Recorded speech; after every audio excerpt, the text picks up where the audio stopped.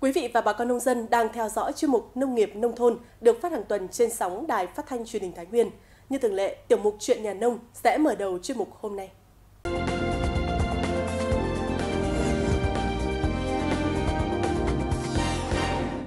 Mới đây, Trung tâm Khuyến nông Quốc gia phối hợp với Sở Nông nghiệp và Phát triển Nông thôn tỉnh Thái Nguyên đã tổ chức diễn đàn với chủ đề Giải pháp phát triển chăn nuôi tuần hoàn gắn với liên kết tiêu thụ sản phẩm với sự tham gia của các chuyên gia đầu ngành trong nước về lĩnh vực nông nghiệp và 150 đại biểu đến từ các hội, hiệp hội, doanh nghiệp, hợp tác xã, nông dân tiêu biểu trong chăn nuôi tuần hoàn tại một số địa phương trong cả nước.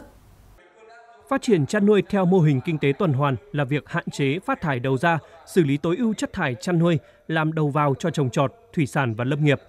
Trong những năm gần đây, ở Việt Nam, mô hình áp dụng khoa học công nghệ trong chăn nuôi tuần hoàn đã nâng cao giá trị, gia tăng sản phẩm nông nghiệp, sản phẩm chăn nuôi, tận dụng đầu ra của chăn nuôi, tạo nguồn phân bón hữu cơ chất lượng cao cho trồng trọt, làm thức ăn trong chăn nuôi gia súc, trồng lúa, rau hữu cơ.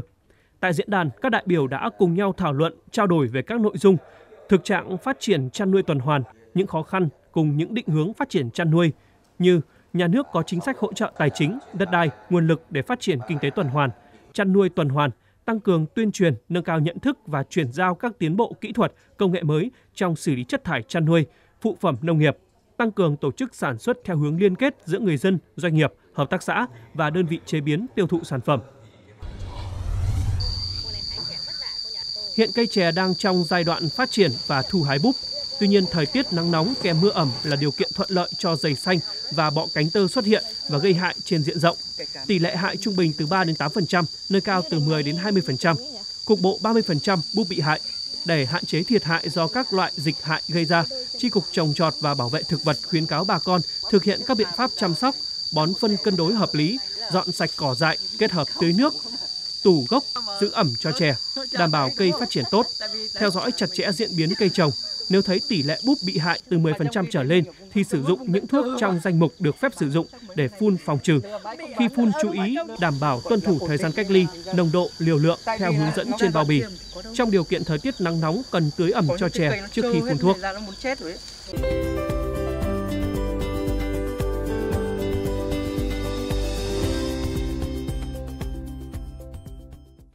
Hiện đang bước vào mùa mưa bão, thời tiết có diễn biến bất thường. Mưa bão không những gây khan hiếm nguồn thức ăn mà còn dễ phát sinh dịch bệnh trên đàn gia súc gia cầm. Mặt khác, khi mưa to có thể gây ngập úng cục bộ hoặc lụt trên diện rộng, tạo cơ hội phát tán mầm bệnh. Vì thế, cơ quan chuyên môn khuyến cáo bà con.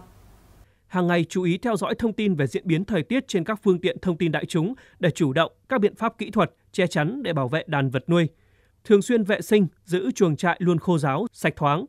phun khử trùng định kỳ trong và ngoài chuồng, nuôi nhốt gia súc, gia cầm.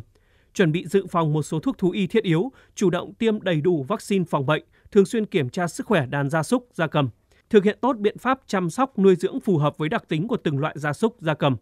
Cách ly kịp thời những vật nuôi có biểu hiện mắc bệnh và báo ngay cho thú y viên hoặc khuyến nông viên cơ sở để có biện pháp can thiệp kịp thời, tránh lây lan, bùng phát dịch bệnh.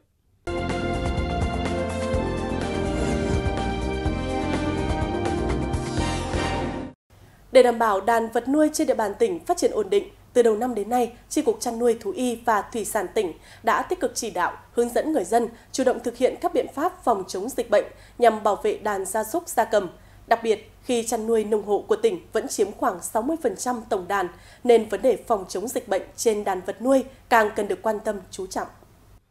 Gia đình bà Nguyễn Thị Hằng ở tổ dân phố Đoàn Kết, thị trấn Hương Sơn, huyện Phú Bình là hộ chăn nuôi lợn đã lâu năm – và đây cũng là sinh kế chính của gia đình. Vì vậy, hàng năm, gia đình bà luôn tuân thủ lịch tiêm phòng theo quy định, đồng thời chủ động các biện pháp phòng chống dịch bệnh. Nhờ vậy mà đàn lợn của gia đình luôn phát triển khỏe mạnh, cho năng suất và hiệu quả kinh tế cao. Tôi tiêm phòng đều đặn này không bị làm sao. Mọi người bị như nhà tôi chưa bị bao giờ. Chuồng trại tôi lúc nào tôi phải rửa sạch sẽ, phun thuốc mũi khử trùng chuồng trại. Còn tại huyện vùng cao Võ Nhai, người dân chủ yếu chăn nuôi theo hình thức nông hộ nhỏ lẻ. Việc đảm bảo vệ sinh môi trường còn nhiều hạn chế. Do đó nếu xảy ra dịch bệnh sẽ dễ khiến lây lan và bùng phát trên diện rộng, gây thiệt hại cho người chăn nuôi. Vì vậy, ngay từ đầu năm, Ủy ban nhân dân huyện đã chỉ đạo Phòng Nông nghiệp và Phát triển nông thôn phối hợp với Trung tâm Dịch vụ Nông nghiệp huyện triển khai kế hoạch phòng chống dịch bệnh trên đàn vật nuôi. Năm nào gia đình tôi cũng tiêm phòng cho đàn bò, khử trùng chuồng trại sạch sẽ để phòng chống dịch bệnh. Những năm gần đây, chăn nuôi đã trở thành sinh kế chính và mang lại hiệu quả kinh tế cao với nhiều hộ gia đình. Vì vậy, việc tăng cường các biện pháp phòng chống dịch bệnh luôn được các địa phương chú trọng và quan tâm, đồng thời thường xuyên khuyến cáo người dân không được lơ là chủ quan trước những diễn biến khó lường của dịch bệnh. Đối với địa bàn thành phố Sông Công thì hiện nay đã thực hiện xong cái kế hoạch tiêm phòng đợt 1 cho đàn gia súc gia cầm vào tháng 5. Hiện tại thì ờ, cơ quan tham mưu phòng kinh tế đã trình ủy ban thành phố phê duyệt kế hoạch tiêm phòng đợt 2 trên đàn gia súc gia cầm. Ngay từ đầu năm, Tri Cục Chăn nuôi Thú y và Thủy sản đã tăng cường công tác thông tin tuyên truyền đến các địa phương về việc phòng chống dịch bệnh trên đàn vật nuôi, không để các dịch bệnh truyền nhiễm nguy hiểm tái bùng phát trở lại hay lây lan ra diện rộng kiểm tra giám sát tình hình dịch bệnh tại các địa phương, đặc biệt là tổ chức tiêm phòng cho đàn vật nuôi. Để góp phần đảm bảo về an toàn dịch bệnh à, trên địa bàn à, tỉnh Thái Nguyên thì chi cục chăn nuôi và thú y ờ, thú y và thủy sản à, sẽ à, có các cái à, giải pháp xây dựng các cái đề án, các cái kế hoạch, các cái phương án để đẩy mạnh cái công tác mà tuyên truyền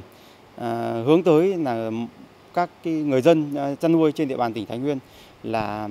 tiếp cận được với các cái tiến bộ khoa học kỹ thuật cũng như là tiếp cận được với các cái quy trình chăn nuôi mà đảm bảo an toàn sinh học và quy định theo tiêu chuẩn VGAP. Hiện đang ở thời điểm giao mùa là điều kiện thuận lợi cho các dịch bệnh trên đàn vật nuôi phát sinh. Vì vậy, cùng với việc vào cuộc tích cực của các cơ quan chuyên môn, các hộ chăn nuôi cũng cần nâng cao ý thức hơn nữa trong việc phòng chống dịch bệnh, tránh gây thiệt hại về kinh tế. Đặc biệt, người chăn nuôi không thả rông gia cầm, không mua bán gia cầm bị mắc bệnh, không giết mổ gia cầm bị bệnh hoặc không rõ nguồn gốc. Thưa quý vị và bà con nông dân, chăn nuôi theo hình thức liên kết mang lại hiệu quả kinh tế cao hơn hẳn so với cách chăn nuôi truyền thống, bởi mô hình có sự quản lý chặt chẽ từ con giống, dịch bệnh đến khi xuất chuồng. Đặc biệt, Thông qua hình thức này, người dân được tiếp cận với khoa học kỹ thuật hiện đại, từ đó thay đổi nhận thức chăn nuôi theo hướng an toàn, tạo ra sản phẩm đạt chất lượng đáp ứng nhu cầu thị trường. Bởi vậy, những năm gần đây, Thái Nguyên đã đẩy mạnh phát triển chăn nuôi theo chuỗi liên kết, góp phần nâng cao hiệu quả kinh tế, đồng thời tăng tính cạnh tranh và bám sát nhu cầu thị trường. Năm 2013, anh Đỗ Quốc Bình ở phường Lương Sơn, thành phố Sông Công thành lập Hợp tác xã Nông sản Lương Sơn nhằm mục đích liên kết cung ứng các sản phẩm nông nghiệp ra thị trường. Năm 2015, hợp tác xã đã ký hợp đồng mua bán thỏ với công ty Nippon Joki thuộc tập đoàn dược phẩm Nippon Joki Nhật Bản. Thỏ xuất chuồng với chỉ tiêu cân nặng từ 2,3 kg một con trở lên, giá bán trên 170.000 đồng một con, còn giá bán lẻ ra thị trường giao động từ 70.000 đến 100.000 đồng một kg. Về mặt à, ừ, đầu ra thì là hoàn toàn yên tâm khi tham gia với hợp tác xã nông sản Lương Sơn của chúng tôi thì là hoàn toàn yên tâm về mặt đầu ra. Và về mặt à, à, ừ, số lượng thì là làm chuẩn so với đã đăng ký. Còn hộ nào mà cần tăng thì là phải có sự điều tiết ừ, của hợp tác xã tăng hay giảm thì là ờ, phải đăng ký trước để có kế hoạch ừ, bao tiêu với hình thức này, doanh nghiệp là đơn vị cung ứng con giống, thức ăn, hỗ trợ kỹ thuật, thuốc thú y và bao tiêu sản phẩm người chăn nuôi xây dựng chuồng trại, hệ thống xử lý chất thải theo yêu cầu của doanh nghiệp, tổ chức sản xuất và nhận kinh phí theo hợp đồng. Điều khiến người dân yên tâm nhất chính là hạn chế được rủi ro trong chăn nuôi, không lo về đầu ra, chất lượng giống cũng như dịch bệnh. Nói chung là mình tự lo đầu ra thì nó cũng khó. Như trước thì làm đấy cũng đầu ra đấy nó cũng giá nó cũng không ổn định. Cái này mình làm nó theo nó ổn định hơn. Toàn tỉnh hiện có 340 trang trại chăn nuôi liên doanh, gia công cho 7 công ty, chiếm 43% tổng số trang trại. Những năm qua, cùng với việc khuyến khích, hỗ trợ các hộ dân phát triển chăn nuôi theo quy mô trang trại, gia trại, các cơ quan chuyên môn và các đơn vị liên quan đã tuyên truyền, hỗ trợ các hộ chăn nuôi, kết nối với đơn vị doanh nghiệp nhằm ổn định đầu ra và nâng cao chất lượng sản phẩm. Hiện nay ờ, trên địa bàn tỉnh Thái Nguyên thì ờ, có 11 chuỗi ờ, liên kết. À, trong đó như vậy thỏ này là một trong những chuỗi liên kết và rất hiệu quả. Thì ngoài cái liên kết chăn nuôi lợn, chăn nuôi châu bò, chăn nuôi gà thì à, hầu hết 11 chuỗi này đến 70% cái sản phẩm là được bao tiêu ờ, sản phẩm. Đấy là cũng là một thế mạnh và cũng là một cái điều kiện để cho Thái Nguyên có thể phát triển mạnh cái ờ, liên kết trong chăn nuôi.